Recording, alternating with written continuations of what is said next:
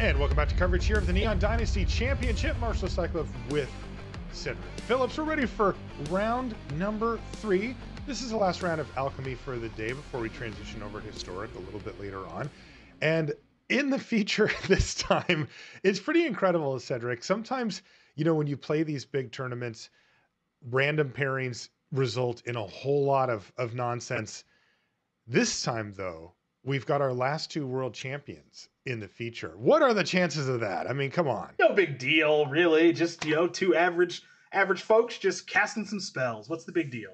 That's right. We've got Yuta Takahashi and Paulo Vitor Rosa squared off against each other in the feature. Again, this is the last round of Alchemy for the day. We'll be playing more Alchemy tomorrow and uh, and on Sunday as well. So uh, you'll get a chance to kind of settle in. What what has been your initial thoughts on it, Cedric? Uh, you know, this is the first time we've debuted at a high level event like this. Well, it's been fun to watch. I mean, I, I like most formats in Magic anyway, um, because they're all just kind of their own different types of animals. Um, but coming into this particular week, and again, it was a really unexplored format in my estimation, and knowing that runes was going to be a big deal coming in, were people going to try to beat it, or are they going to try to join it? Uh, and what we're seeing now is that people are trying to beat it, and they are succeeding in doing so. Now, again, small sample size theater. It's only three rounds of alchemy. We'll have more numbers at the end of the day, but thus far, that uh, that rune stack has not impressed me. But maybe a chance for redemption. That's right. We get one more data point right now, Cedric, because in the feature, Yuta Takahashi has decided to bring this rune deck that the Japanese team came up with. On the other side, Paulo Vitor Rosa came up with a deck that maybe was just tailor made to destroy it. It's the mono white deck that just has tons of stuff that interacts very favorably for it against runes specifically.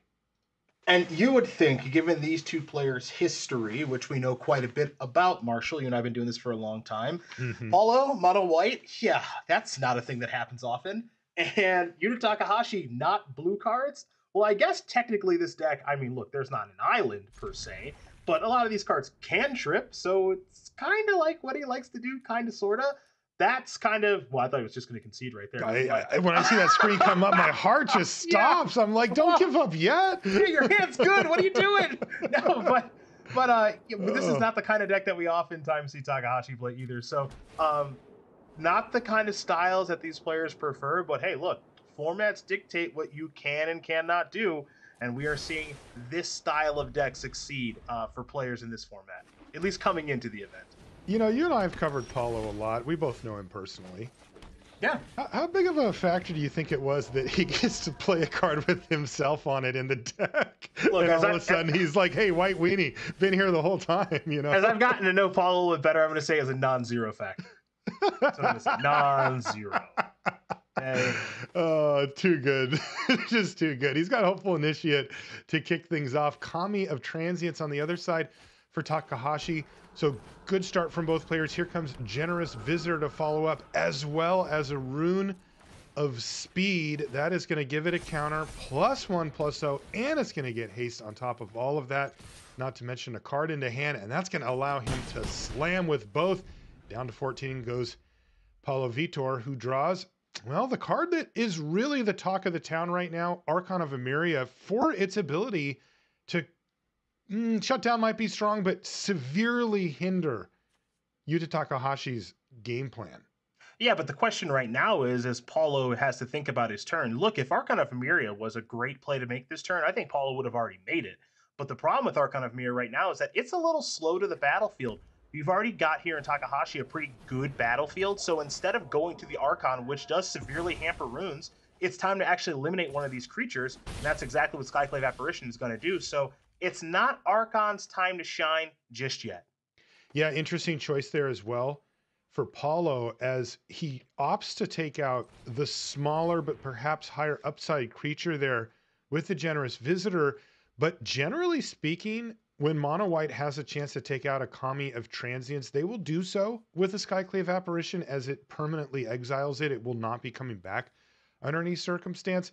But it looks like Paulo decided, all right, well, I'm under enough pressure here that I just need to take down this generous visitor. It also gives him the slight upside that if his apparition were to leave the battlefield, somehow it's only a 1 1 1 back for Looks like we're going to speed up this Kami now, draw a card. Another generous visitor has been picked up now too, so perhaps we'll see Takahashi deploy that as well. We are seeing, you know, we are seeing right now, Marshall, a more traditional draw from runes. Yes, it doesn't have the champion, it doesn't have the reducer yet, or anything like that, but this deck can kind of do its game plan a multitude of ways. Uh, and right now, it's uh, it's kind of firing on all cylinders. It really is. There's five more damage coming in. Paulo Vitor down to nine. Keeping it simple. Here comes Generous Visitor to follow up as he passes the turn back. Yuta staring down at Rune of Speed and Skyclave Apparition in hand to go with a land that Paulo knows about. Paulo has a ton of action in his hand. In his hand. He's going to go with Inquisitor Captain, but it's interesting because, you know, he really does kind of need to just maximize what he's doing each turn to try to keep up with Yuta at this point. Yeah, Inquisitor Captain there is hoping to try to find one of those three drops that can actually eliminate a creature. So if you take a look at Paulo's deck list, he does have four copies of Skyclave Apparition, one on the battlefield, so there would have been three there. Uh, the Archons, which are not really what he's looking for, and only a singleton copy of Brutal Cathar, where some players are playing two and 3 mm-hmm. copies. So Kami of Transience is a real issue here, mostly because of its trample uh, and the inability to really slow that thing down right now alongside Trample. Paulo's kind of struggling. we got to see it here, said. Paulo's playing Apollo, elite spellbinder on the battlefield. How many people have gotten a chance to actually do that, play a card that they helped design with their own likeness on it after becoming world champion or, or in the past having won an invitational? Uh, that has to feel so cool. To, I'll play Paulo. And I am Paulo. What up? Yeah, I'm talk about hashtag goals. Look, dude, one day, hopefully. so sweet. I mean, that's just achievement unlocked at the highest level for a Magic player. In the meantime, this Spellbinder does put a tax on Rune of Speed, leaving Skyclave Apparition the other land, and then the freshly drawn land in hand now for Yuta. Oddly enough, though, this Rune of Speed is going to cost four mana, but that is still doable at this stage of things. And if you do mm. cast that Rune of Speed, it's going to be your entire turn, sure, but you're going to trigger Generous Visitor. You're going to trigger Kami. You're going to get to draw a card. And though it's an expensive rune, and I mean very expensive because those things can be free sometimes, that might just be the best thing to do this turn. He's taking a look, and uh, it does look like that's exactly what he's considering here. Said, yeah, he's lining up a rune of speed. There it is. Vroom. Tax be paid, he says. This does give him an option option to draw a one mana spell and still be able to play it.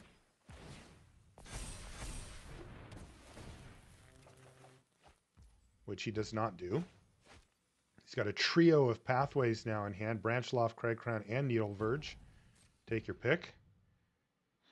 In the meantime, what does the attack look like here for Yuta?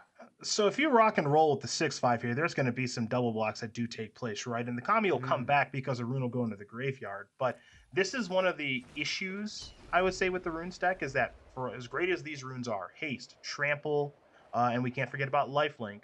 These runes do not grant first strike. They don't grant flying. They don't grant unblockables. So yeah, we've seen players go towards death touch. We've talked about that already today. And sometimes it can just be I got a bunch of idiots out here to block, so we've seen that. Want to attack? Yeah, yeah. And, and, there's no good attack to be had here. He has to pass the turn back. That's got to be such a bummer for Yuta with a six-five trampler out, and he just says go with his opponent on nine life. Paulo draws a, a, land for the turn and he's surveying the scene. He's going to go with Inquisitor Captain number two. He's getting these out of his hand and then double spell. And look at that Skyclave Apparition off of the Captain is going to send that Kami of Transience packing for good. And look at who's attacking now. It's Paulo Vitor Rosa. He's even getting with Hopeful Initiate and the training trigger here. Yeah, a trigger that doesn't come up a ton, but is going to come up now to make that into a 2 3. Maybe this Skyclave Apparition is thinking about attacking. And now, where we're going to get to the point of the game, Marshall, where now Archon of Emeria is actually going to be relevant next turn for Paulo if he has the opportunity to cast it. Because I don't know, we keep talking about this, you and I. This whole uh, this whole showdown of the Skalds card. This would be the great time to draw it. Totally. Still reloads your hand in some ways, lets you guarantee action for the next few turns, or at least give a really good chance of it. But man, Archon really does cripple it on chapters two and three. Here it comes, though. Three creatures into the red zone, including the Skyclave apparition. with the uh, generous visitor, and it looks like Yuta's just going to take it all. Falls down to nine. Land go, and there's another land off the top here for Takashi. and he's going to scoop them up. That's going to be it. Concede button has been pressed, and uh, we're going to start consulting sideboards here. Dude, it has been a rough, rough day to be a runes player. Yeah, I mean, we had a slight advantage bar there towards Yuta Takahashi because he had that big creature on the battlefield, but that Inquisitor captain just flipped the script on that game, finding another copy of Skyclave Apparition, and then that was that. And here, here's even worse news, Marshall, is that things don't get better for runes after sideboarding. It's mono white. You can see for mono white, there's another copy of Brutal Cathar. There are multiple copies of Portable Hole. The Wandering Emperor can play play a role in a matchup that is creature based in a very meaningful way. So those cards are easily coming in. I, am curious if we were to talk to Paulo right now, how how painful is it to sideboard yourself out? He left That's, one in. Well, I would do that. Yeah, you know.